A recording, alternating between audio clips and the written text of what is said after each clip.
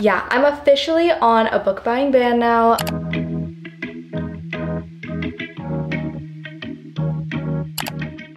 Hello beautiful people, welcome or welcome back to my YouTube channel. If you guys are new here, my name is Gianna Lian and today I have a humongous book haul for you guys.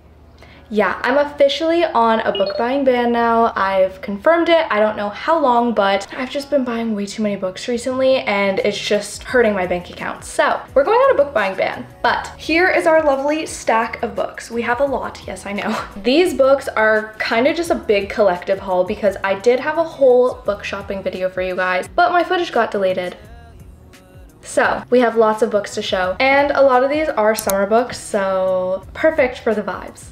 But the first one I want to start off with is Meet Me at the Lake by Carley Fortune. You guys know from watching my other videos how much I absolutely love Every Summer After by Carley Fortune. I'm just obsessed with her writing. Everything about her I just absolutely love. So I knew I had to pick up her new release. I'm a little bit late to the trend, but I'm just happy I picked it up before summer ended. I'm pretty sure this one is also like a second chance romance similar to Every Summer After, but it says, you and me in one year, don't let me down. Oh my gosh, and I also think that this is based like in Toronto because it says that they spiraled into a day-long adventure in Toronto and then years later our main character is running her mother's Muskoka Lakeside Resort.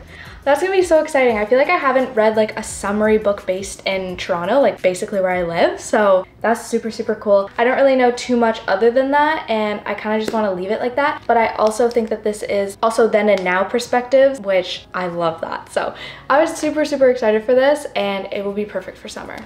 Next we have Same Time Next Summer by, let me just take the sticker off, by Annabel Monaghan. I'm sorry if I'm mispronouncing that, I probably am, but I saw this one at the bookstore. I didn't know anything about it. I just really, really liked the cover and it obviously it gives those summer beachy vibes. I really wanted it, plus it's a shorter read, so I feel like it'd be perfect just to read it on the beach and I could read it in like one sitting. But this one, I'll read you the part that intrigued me the most and this is all I read from the back. It just says, beach rules. Do take long walks on the sand. Do put an umbrella in every cocktail. Do not run into your first love. So seems like we have like a whole bunch of like love chaos going on. It says, Sam's life is on track. She has the perfect doctor fiance, Jack, a great job in Manhattan unless they fire her, and is about to tour a wedding venue near her family's Long Island beach house. Everything should go to plan, yet the minute she arrives, Sam senses something is off. Wyatt is here. But there's no reason for a 30-year-old engaged woman to feel panicked around the guy who broke her heart when she was 16, right? So that drew me in and I just needed to read this book. So I had to pick this up by the synopsis and I'm pretty sure it is a newer release as well. So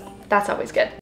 This one you guys already know, I just had to. There was no question about it, I just had to buy it as soon as I finished the last one. We have Twisted Hate by Ana Huang. This is the third book in the Twisted series. I swear the covers just keep getting prettier and prettier. I'm pretty sure the last one is green though. I don't know how I feel about green, but I'm super excited for this one because the second book probably is my favorite, the one that I just finished. So I'm curious to see if this one's gonna top it, but all of them have been so good so far. And I'm pretty sure that this one follows Josh and Jules. Josh is Ava's brother from the the first book and Jules is Ava's best friend. I got to know them a lot in the first book and I didn't really vibe with their characters. I wasn't really drawn to them, especially the brother, but I feel like in their own book, we could really, really get to know them and I feel like I could like it, but I hear that this one is also everyone's favorite, so I'm curious to see if I have the same opinions, but so far the second one has to be my favorite. They're just so good. I highly, highly recommend this whole series.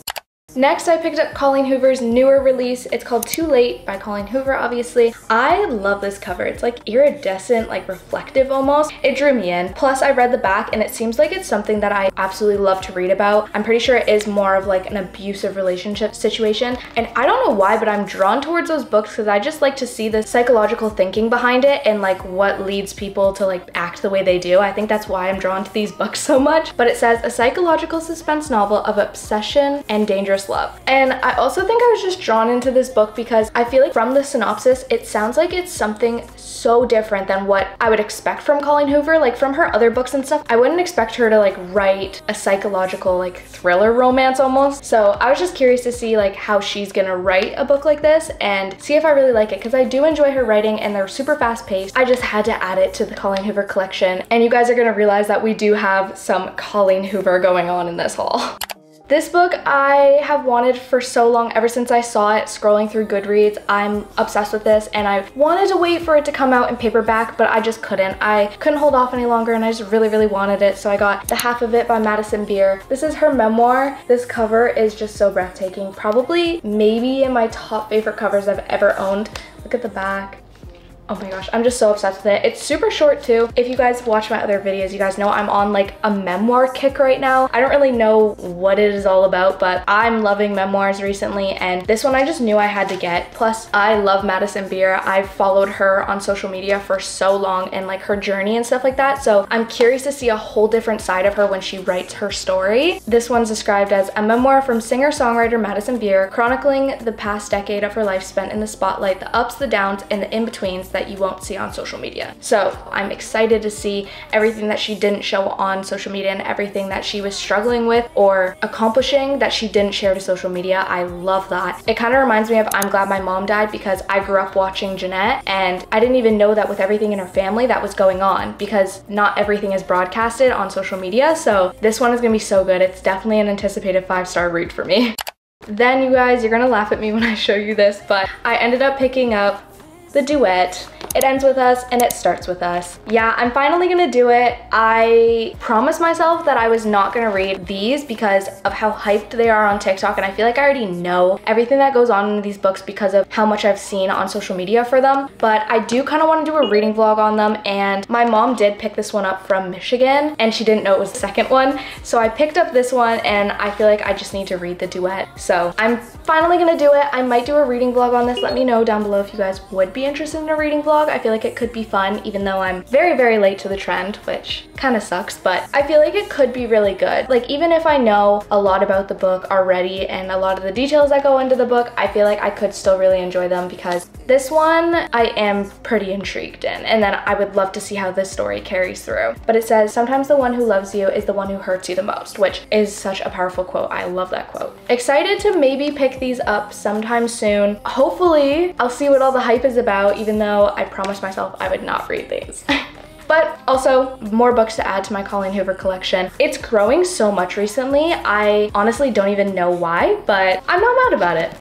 Next is a more random pickup. I've seen this book for a while. I've had my eye on it. I just never really wanted to really, really pick it up, but I decided to just pick it up on a whim one day. Scarborough by Catherine Hernandez. This cover is so gorgeous. I just love it. I don't know what it is about it, but I just love this cover so much. And I'm pretty sure this one also is based in Scarborough, which I don't live too far from Scarborough. And I know the area pretty well, so I would love to see like the truths and what really goes down in a smaller community with like poverty, drug abuse, like everything like that. I feel like I could learn so much from it, so I wanted to pick it up. It does say that Scarborough is a low-income, culturally diverse neighborhood east of Toronto. Like many inner city communities, it suffers under the weight of poverty, drugs, crime, and urban urban blight. Scarborough, the novel employs a multitude of voices to tell the story of a tight-knit neighborhood under fire, offering a raw yet empathetic glimpse into a troubled community, a neighborhood that refuses to be undone. So it seems like we're gonna have a lot of character development in this book, a lot of growth in this book, and just a lot of real life facts and real life truths that is really going to make me see another side of some things. I feel like that could be so inspiring in a way. I don't know why, but it's also really, really short. So I feel like I could fly through it pretty quickly. This one will definitely definitely be a next read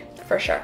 And then the last three books that I hear, I actually were gifted these by my best friend Lily from London. I absolutely love her. She always spoils me with books, so I had to include these into a haul, but give her a big thank you really quickly because I love her so much. Also, don't don't mind my nails. I need them done. I just realized I don't have some nails going on, so don't mind that. The first book she got me was We Were Liars by E. Lockhart. She has been telling me to read this for so long. She's like, you need to read this book, you need to read this book, you need to read this book. And really the only way she gets me to read books that she wants me to read is she just buys them for me. It's her way of forcing me to read books. We all know this book, probably. I mean, I would assume we do. It literally blew up TikTok. It's also a very controversial book. It's very hit or miss. Like some people absolutely love it and then other people say that it's the worst book BookTok could ever make popular and make go viral. So I don't know where I'm gonna stand. It's a lot shorter than I thought it was when I was looking at it before. I am excited to read it because then I could pick up the second one. Plus, with the summery vibes, I feel like it could be perfect and it would be maybe a good beach read for the future. But the little blurb on the back, it's all it gives you is we are liars. We are beautiful and privileged. We are cracked and broken. A tale of love and romance, a tale of tragedy. Which are lies, which is truth, you decide. Oh my gosh, I'm just so excited. Next one she also literally tells me I have to read is There Are No Saints by Sophie Lark. This is actually a duet, but she got me the first book to see if I liked it. And this one she recommended to me because I am obsessed with the Mindfuck series. You guys might know that about me. I'm obsessed with it. I fell in love with the series from book one and she's like, oh my gosh, you have to read this duet then because it's not completely similar, but it does kind of have some similarities. So she recommended me this. I love the cover. I know the Kindle Unlimited cover is like terrible. it's like real people on it. So I'm really happy that I got this cover. It's just so gorgeous. I don't really know what this one is about though, to be honest. But it says Cole Blackwell values control. He's the hottest sculptor in San Francisco. Wealthy, successful, and respected. His only weakness is the dark impulse he carefully conceals. Mara Eldridge is a nobody. Broke and damaged. She works three jobs while creating paintings no one will ever see. So seems like we got a lot of opposites attract going on. And I really hope it's like bad boy romance. I've been loving that trope recently, so let's only hope. But I was super excited when I opened this from her, when she sent it to me. It was just a nice surprise, plus I've just been wanting to read it for so long. And then if I do really like it, I'm gonna have to pick up the second book. We're just gonna have to see how it goes. I feel like I've bought so many books recently that I'm overwhelmed with the fact that I literally have no more space on my bookshelf. But that's a problem for another time. And the last one I want to show you guys, she did get me the like limited edition anniversary cover, I'm pretty sure, of The Seven Husbands of Evelyn Hugo by Taylor Jenkins Reid. I saw this last summer when they first released these and I just fell in love with it. Plus this book is one of the first books that I read when I first got into reading again. So I just knew that I really, really wanted this cover. I just didn't know when I wanted to pick it up, but she beat me to it and she ended up getting it for me. It's just so gorgeous. And plus I hate hardback covers. You guys know that, but this one is an exception because it's just so gorgeous. And it says, people have so closely followed the most intricate details of the fake story of my life. I want them to know the real story, the real me. That is like the perfect synopsis, just at the back. That's all you need for this book. And then you just have to read it because I'm telling you, this book is so beautiful and so moving. I don't know what it is about it, but I don't like historical romance, like historical fiction, but this one is a must, I'm telling you. Oh, I'm just so in love with this cover. It's just so gorgeous. But these are all the books for my massive book haul. I'm officially on a book buying ban.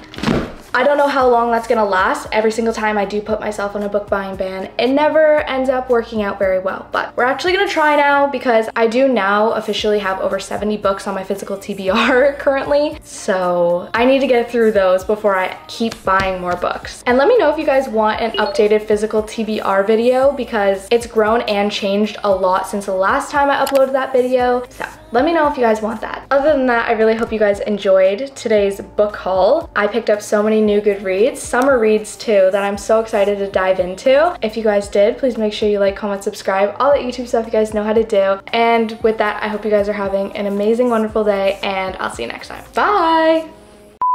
Mon Monaghan? Monaghan? Do not take, do not take, do not, um, I feel like I, I, Hello? Don't fall. Don't fall. Please don't fall. What is going on here? Really? The one book wants to be the opposite way? Seriously? Ah, okay. Do a little flipperoonie. Oh no. You stay right there.